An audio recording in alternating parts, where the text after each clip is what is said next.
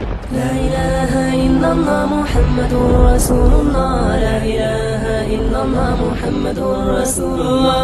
لا إله إلا الله محمد رسول سبسکرائب کریں میرے چینل سید سعد قادری کو اور بیل آئیکن دبائیں میری ویڈیو سب سے پہلے دیکھنے السلام علیکم ورحمۃ اللہ وبرکاتہ.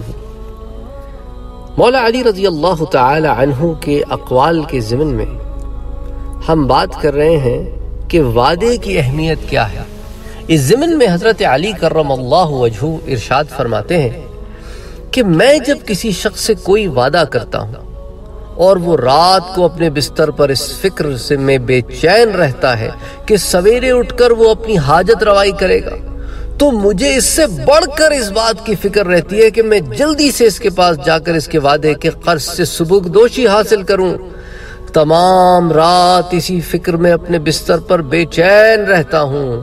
اور مجھے اس بات کا اندیشہ ہوتا ہے کہ مبادہ ایسا کوئی کام نہ ہو جائے کہ میں وعدے کو پورا نہ کر سکوں، کیونکہ وعدہ خلافی شریفوں کی صفت نہیں۔ اللہ اکبر۔ یہ ہوتا ہے جناب وعدہ کر کے اس کو نبھانے والوں کا حال۔ کہ جب وہ وعدہ کر لیتے ہیں نا، تو جس سے وعدہ کرتے ہیں، اس سے زیادہ وہ بے چین رہتے ہیں۔ وعدہ کرنے والا بھی بے چین ہوتا ہے وعدہ کیا جاتا ہے وہ بھی بے چین ہوتا ہے نا کہ بھئی کب میرا کام ہوگا۔ اور آپ جو وعدہ کر رہے ہیں، آپ کو اس سے زیادہ بے چین ہونا چاہیے کہ کہیں میں وعدہ خلافی کے جرم میں مبتلا نہ ہو جاؤں۔ اب اس سے اندازہ کریں کہ ہمارے کیا معاملات ہیں۔ ہم وعدے تو ایسے کرتے ہیں کہ جیسا کوئی بات ہی نہیں ہے۔ کیا کیا، پورا نہیں کیا نہیں کیا، پورا کہہ دیں گے آگے جی قسمت میں نہیں تھا۔ اور سبحان اللہ، ہمارے جو لیڈر ہیں وہ تو وعدے کرتے ہی اس لیے ہیں تاکہ نبھائے نہ جائیں، کہ وہ وعدہ ہی کیا جو نبھایا گیا۔ تو ایک ہمارا دوست تھا، وہ کہتا تھا کہ بھائی، تمہیں پتا ہے کہ پولیٹیشن جھوٹ کب بولتا ہے؟ میں کہا، نہیں، کہنے لگا جب وہ منہ کھولتا ہے۔ کیونکہ وہ جھوٹ کے سوا بولتا کچھ نہیں۔ تو اللہ معاف کرے۔ اچھے لیڈر بھی ہیں۔ ایک ایسی جوک کے طور پہ کہہ رہا ہوں۔ اچھے لیڈر بھی ہیں۔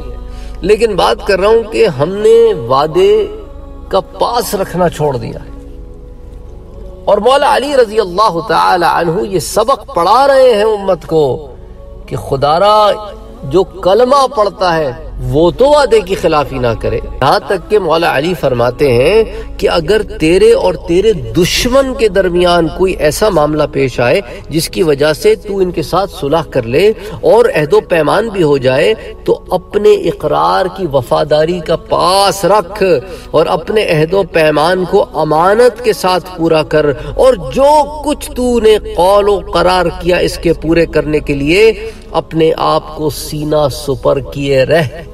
یہ دشمن کے ساتھ معاملہ ہے کہ کہیں ایسا نہ ہو گیا چلو یہ تو دشمن ہے نا، اسے وعدہ پورا کرنا ضروری نہیں ہے۔ ایسا نہ کرنا۔ وعدہ وعدہ ہے۔ جس سے کرو، پورا کرنا ہے۔ اور مزید برا ایک اور جگہ فرمایا کہ جو شخص اپنے وعدے کو ٹالتا رہتا ہے، وہ اگر پورا بھی کرے تو اس میں کچھ لطف لطف نہیں ہوتا۔ پھر فرمایا کہ وہ درجات عالیہ سے محروم رہتا ہے۔ کون؟ جو شخص وعدہ خلافی کرتا ہے، وہ عہد و پیمان کو پورا کرنے والا نہیں، اور جو شخص اپنی عادات کی پیروی کرتا ہے، وہ درجات عالیہ سے محروم رہتا ہے۔ اس لیے فرمایا، وعدوں کو بجا لاؤ اور عہد پورے کرو۔ تو یہ چند اور باتیں تھیں وعدے کے ضمن میں جو مولا علی رضی اللہ تعالی عنہ نے فرمائی۔ انشاءاللہ تعالی پھر اگلے درس میں کچھ اور مولا علی کے اقوال کے ساتھ حاضر ہوں گا۔ وما علینا الا البلاغ۔